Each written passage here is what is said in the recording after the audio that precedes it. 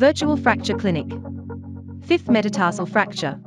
Hi, I'm Andrew Oppy, an orthopaedic consultant at the Royal Melbourne Hospital. At the Royal Melbourne Hospital, the Virtual Fracture Clinic is run by specialist orthopaedic consultants and advanced practice physiotherapists. In many cases, we can review your injury and provide care without you needing to come back into hospital. This video will give you the information you need to manage your recovery. The fifth metatarsal is the bone on the outer border of the foot. A fifth metatarsal fracture refers to when this bone is broken. Fifth metatarsal fractures are commonly caused by rolling the ankle or stepping in a pothole. You can expect to feel pain and see swelling, redness, and sometimes bruising in the area. On your x ray, we might see a crack or dark line. This is the fracture or break. An orthopaedic surgeon can determine if an operation is required. However, in most cases, this injury will heal on its own given some time and support. Treatment. Once a specialist has determined no operation is needed, the most common treatment is to support the foot in a rigid boot for 4 to 8 weeks to limit movement in the area while the fracture heals.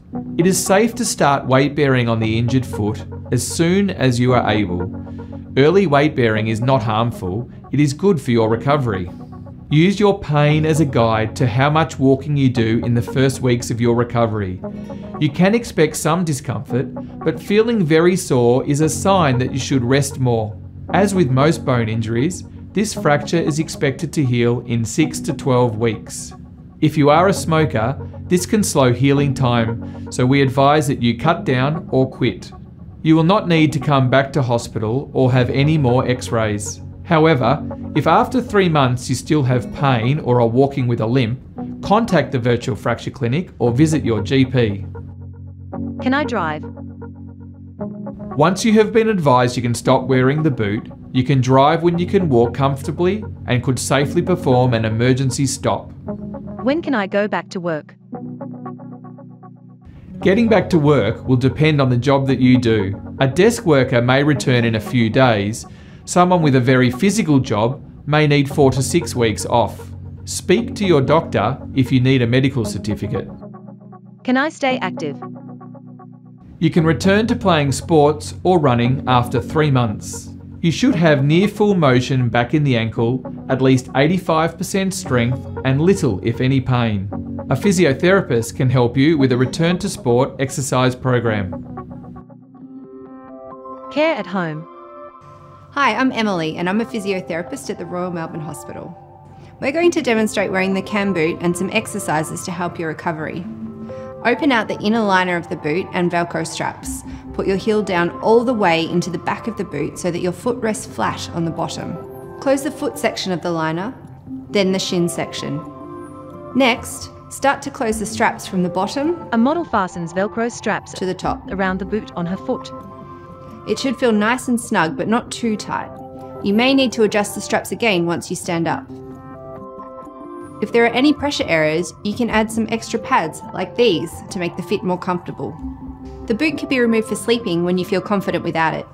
It can also be removed for bathing and showering. It is recommended that you sit down to shower so that you don't risk slipping and re-injuring the fracture. If you need more support, consider hiring some crutches to assist with walking in the short term. Foot and ankle injuries can be very sore. You should make sure to rest and spend less time on your feet than you usually would. Elevating the foot above the height of the hip can help. It is also advisable to use an ice pack or frozen peas over the area to help with swelling and pain. Do this 20 minutes, two to four times a day. Wrap your ice pack in a tea towel or cloth. Never place ice in direct contact with your skin. If your pain is not improved with rest and ice, you could try over the counter pain relief such as Panadol or Nurofen. If you are still very sore, consider an appointment with your GP to talk about other medications. After two or three days, start these simple exercises to help your recovery. Remove the boot and do the exercises three or four sessions throughout the day. Exercise 1. Ankle range of motion, dorsiflexion and plantarflexion. Move the foot up and then down. Move as far as you can within the limit of discomfort. You should feel a bit of a stretch. Repeat this about 10 times. Exercise 2. Ankle range of motion, inversion and eversion.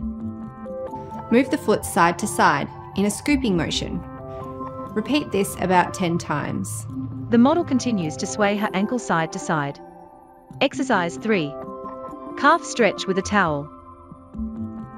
Use a towel or scarf around the top of the foot to gently pull the foot back towards the leg. Hold until you feel a light stretch. Hold this for 10 seconds and repeat 5 times. After you stop wearing your boot, it is important to advance your exercises to strengthen your calf and improve your balance. You can see your own physio locally or contact the virtual fracture clinic to arrange a physio appointment at the hospital. It is important that you understand these instructions. You are in charge of your own health. If you have any questions about your recovery, contact your GP or the virtual fracture clinic. The Royal Melbourne Hospital.